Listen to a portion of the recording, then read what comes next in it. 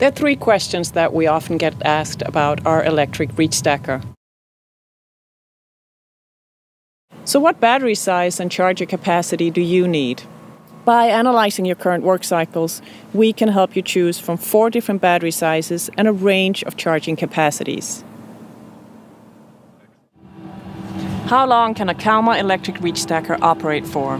Our electric reach stackers can operate for up to 10 hours non-stop, depending on the battery size that you choose and the productivity level requirements that you have.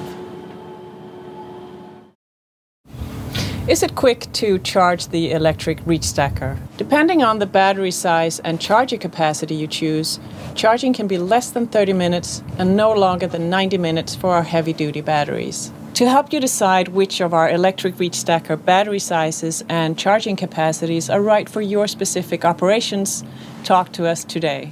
The time is now to go electric.